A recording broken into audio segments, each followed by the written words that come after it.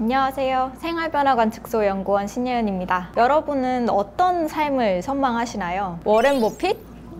이재용 회장? 소셜 데이터로 봤을 때 생각보다 사람들은 대단한 삶을 말하고 있진 않았습니다. 마랑 브이로그 진짜 웃기고 뭔가 먹는 거 보면 식욕 땡기고 나도 저렇게 활력 있게 살아보고 싶어짐. 꿀키님 브이로그가 내가 꿈꾸는 삶이다. 여러 가지 음식을 시도하고 요리도 하고 베이킹도 하는 삶. 엄청난 대부호의 삶. 이런 게 아니더라도 브이로그라는 어떤 타인의 단편적인 삶의 일부분의 모습을 통해서 자신이 선망하는 삶의 모습을 얘기하고 있었습니다. 그래서 오늘은 이 브이로그를 통해 이 시대의 선망성 그리고 이 시대의 코드를 한번 분석해 보려고 합니다.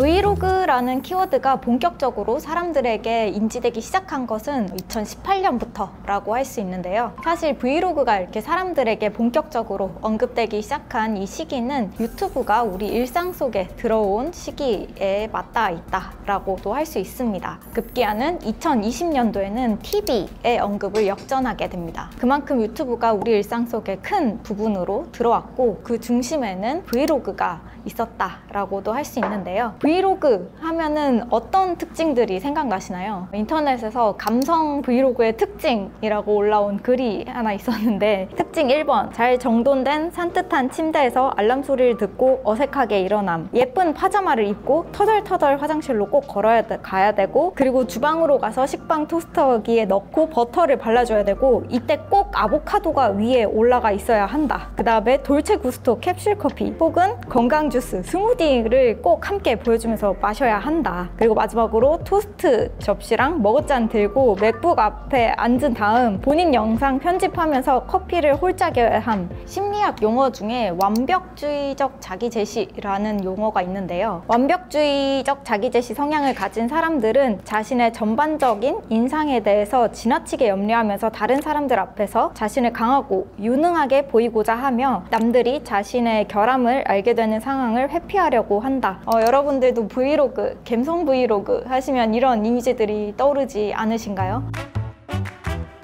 한때는 이런 완벽주의적 자기제시의 성향이 강했던 브이로그의 특징이 지금은 어떻게 바뀌었는지 그리고 과거에는 어땠는지 한번 소셜 데이터로 살펴보겠습니다. 2018년 자료를 찾아보니까 이런 커플들이 브이로그에 나와서 연애하는 혹은 데이트하는 영상들을 올리는 것이 당시에 유행했었던 것으로 보이는데요. 특히 국제 커플 혹은 어, 장기간 연애했던 커플들이 이제 컨텐츠를 만들면서 인기를 많이 얻었던 모습을 보이고 있었습니다. 이런 브이로그 브 이로그들을 보고 사람들은 이 커플들처럼 알콩달콩 오래 같이 만나는 삶이 부러워요. 그런 삶을 살고 싶어요. 라고도 많이 얘기하고 있었는데요. 그리고 순위권에 있었던 다른 브이로그 중에 오눅 브이로그가 있었는데요. 사실 이분의 브이로그는 지금도 유명하시죠. 당시 이런 브이로그의 거의 시초격으로 도쿄에서 사는 직장인의 일상의 모습을 올리시면서 인기를 많이 얻었었는데요. 중요한 지점은 나의 평범한 정말 소 소한 아무것도 아닌 일상이라고 올리지만 사실 소소하지 않고 평범하지 않아 보이는 일상이었던 점이 호기심을 자극하는 요소로 작용했던 것으로 보입니다. 그래서 정리를 하자면 2018년에 사람들이 선망했던 삶은 커플로서 알콩달콩하게 지내면서 그리고 집에서 깔끔하고 단정하게 잘 차려 먹는 삶이 선망되고 있었다라고 보입니다. 그 다음 2019년으로 가면 일하는 삶에 대한 브이로그가 많아지게 되는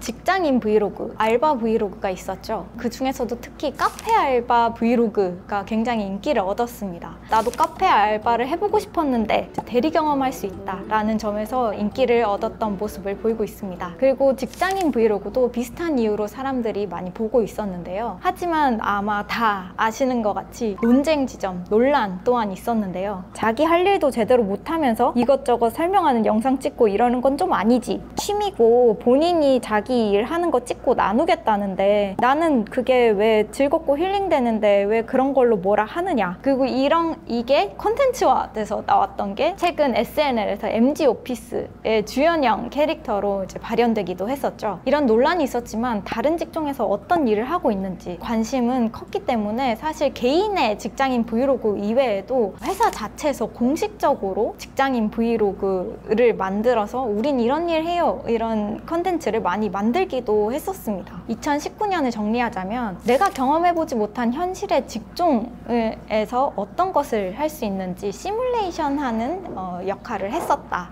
그 다음 2020년에는 자기 개발을 하는 삶에 대한 needs가 컸던 것으로 보이는데요. 운동 브이로그와 공부 브이로그가 있었습니다. 공부 자극을 받고 싶어서 공부 브이로그 보고 있다. 운동 영상 따라 보고 있는데 운동 자극까지 받아서 너무 좋다. 내가 자극을 받기 위해 이런 브이로그를 많이 시청했던 것으로 보이고 있었습니다. 그리고 언급 순위에 또 있었던 브이로그가 하나 더 있는데요. 2020년도에 고양이 브이로그가 굉장히 크게 상승한 모습을 보이고 있었습니다. 그 전에도 고양이 영상 자체에 대한 인기는 크게 상승하고 있었지만 2020년 나의 선망적인 일상을 담은 브이로그에는 고양이가 등장해야 된다라는 것도 알 수 있는 지점이었습니다. 그리고 2021년으로 가면은 혼자 사는 삶에 대한 브이로그가 많이 나오게 되는데요. 특히 이혼 브이로그의 경우 이때 관심이 크게 상승을 했었는데요. 그냥 자극적이기만 하기 때문에 많이 언급되고 관심을 받았던 것은 아닌데요. social 원문을 보면 나는 결혼도 안 했지만 이 영상을 보고 있다. 근데 그 이유는 내가 내 삶에서 이런 일을 겪을지도 모르는데 이런 일을 알려주는 사람은 아무도 없었다라고 말을 하고 있었습니다. 그래서 채널 주인분도 어, 이런 말을 하셨는데요. 어, 떤 분이 댓글로 퇴사 브이로그처럼 이제 이혼 브이로그도 많아질 것 같다라고 말씀하시니까 이혼 후의 삶의 모습도 수면 위로 이렇게 많이 올라왔으면 좋겠다. 열심히 해서 만족스러운 어, 내 삶을 살아보겠습니다. 라고 말씀을 하시고 계셨습니다. 그래서 당시 이혼 브이로그는 이혼도 불행하지 않아 라고 이제 스테레오타입을 깨주는 역할도 하고 있었고 그럴 때는 이렇게 이렇게 해야 한다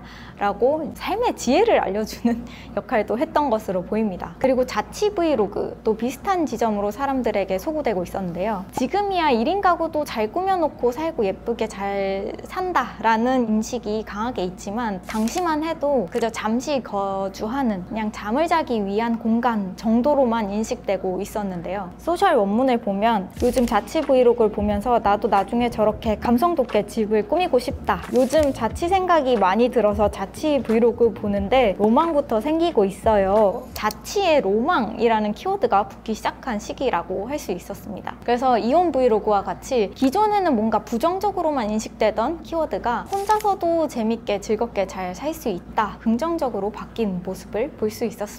그 다음 2022년에는 먹방과 맛집 브이로그가 뜨게 되는데요. 먹방 채널들도 엄청 유행을 했었죠. 너무너무 배고프고 입맛 돌면 차라리 먹방 브이로그를 본다. 혼술 먹방 브이로그 보는 게 낙이다. 왜냐면 나도 너무 먹고 싶은데 주 2회로 제한시켰기 때문이지. 나는 제한해야 하지만 제한하지 않고 먹을 수 있는 그들에 대한 대리만족을 느끼기 위해서 이 먹방이나 맛집 브이로그를 보고 계셨습니다. 그리고 2023년 또 비슷한 맥락으로 이런 대리만족의 영역에서 이런 여행 브이로그와 유학 브이로그, 캠핑 브이로그 같은 것이 이제 떴었는데요. 코로나가 끝나면서 이제 여행에 대한 수요도 많이 늘어났었죠. 그러면서 이런 여행 브이로그, 곽주부님, 원지의 하루, 빠니보틀 등등 이런 여행 채널들이 인기를 얻었습니다. 캠핑 브이로그와 유학 브이로그도 밖으로 나가서 나의 낭만을 대신 실현시켜 준다라는 지점에서 많이 관심을 받고 있 었습니다. 낭만이 죽은 시대. 그냥 가끔은 나이, 취업, 사업 따위는 잊고 마음 맞는 친구들이랑 캠프파이어나 하고 싶음. 퇴사하고 미국 유학, 퇴사하고 뭐 어디 유학 브이로그도 굉장히 많이 있었는데요. 브이로그를 보면서 낭만을 대리만족하고 있는 모습을 보이고 있었습니다. 그러면 다음은 무엇이 될까요? 브이로그 연관 가치, 속성어, 키워드의 변화를 제가 쭉 뽑아봤는데요. 지속적으로 순위가 크게 상승하고 있었던 것은 정보 키워드였습니다. 반면에 힐링이라는 키워드는 언급 순위가 하락하고 있었는데요. 이제는 오히려 브이로그에서 힐링을 찾기보다 정보를 찾고 있는 사람들의 행태를 볼 수 있었습니다. 그렇다면 브이로그에서 사람들은 어떤 정보를 찾으려고 할까요? 첫 번째는 브랜드 정보라는 부분에 주목을 해보았습니다. 가치 속성어 키워드 순위에 보면 2024년에 브랜드라는 키워드가 언급 순위에 진입한 모습을 보이고 있는데요. 기존에는 뭐 haul 영상이라든지 아니면 그 본격적인 제품 리뷰 뭐 이런 영상을 통해서 아이템이나 브랜드 정보를 습득을 했다면 최근에는 인플루언서의 일상이 담겨 있는 브이로그에서 아이템이나 브랜드 정보를 더 많이 습득하는 모습을 보이고 있었습니다. 그리고 두 번째로 이 브이로그에서 얻는 정보로는 현실의 역경을 이겨낼 정보 를 브이로그에서 찾는 모습을 보였는데요. 최근에 이제 이슈가 되고 사람들이 많이 언급을 하기 시작했던 브이로그 중에 퇴사 브이로그, 뭐 파혼 브이로그,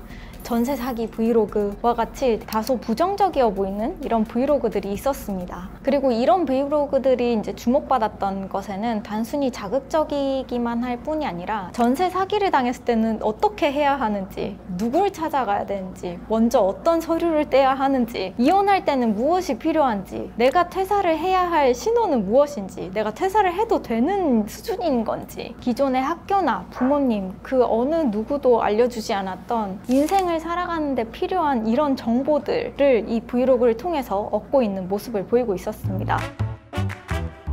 그래서 브이로그를 통해서 변화된 이 시대의 코드들 정리를 하자면 어, 연인이 있어야지만 행복했었던 것에서 이제는 개인 혼자서도 행복을 추구할 수 있는 삶으로 현실에서 로망이었던 직종을 대리 체험해보던 것에서 현실을 떠나는 낭만을 실현하는 삶으로 열심히 자기 개발해서 완벽에 가까워지는 방법을 공유하던 것에서 인생의 실패를 다루는 방법을 공유하는 것으로 이 시대의 코드가 변화하고. 있었다라고 정리할 수 있겠습니다. 이렇게 쭉 보면 이제 브이로그라는 게 사실 사람들에게 그냥 예뻐 서 뭐 있어 보여서만 소구되는 것은 아닌 것 같다라는 생각이 들어요. 특히 이제 어른이 되는 방법을 거기서 배우고 있다라는 점에서 여러분들은 보시는 브이로그에서 어떤 어른이 되는 방법을 혹시 배우고 있는지 궁금합니다.